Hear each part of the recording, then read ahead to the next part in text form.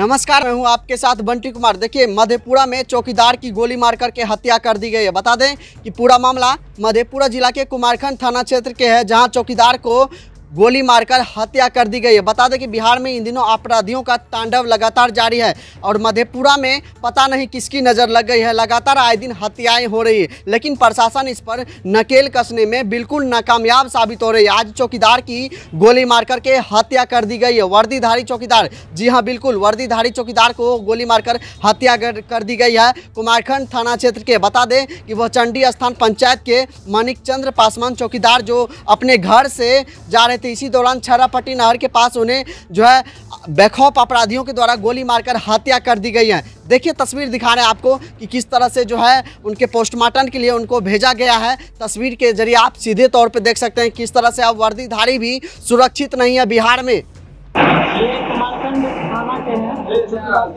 जिसका कि मृत्यु हो गया है मर्डर हो गया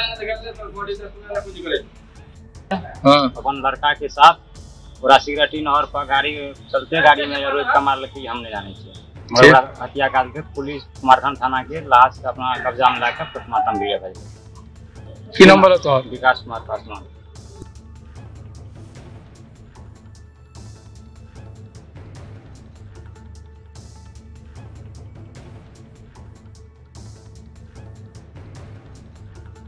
हाँ। अपन लड़का के साथ पूरा सिगरेटी नहर पर गाड़ी चलते गाड़ी में रोज कमार लगी हम नहीं जाने हत्या काल के पुलिस कुमारखंड थाना के लाश के अपना कब्जा में लाकर पोस्टमार्टम भी भेज की नंबर है तोहर विकास कुमार पासवान। ये कुमारखंड थाना के हैं जिसका कि मृत्यु हो गया है। मर्डर हो गया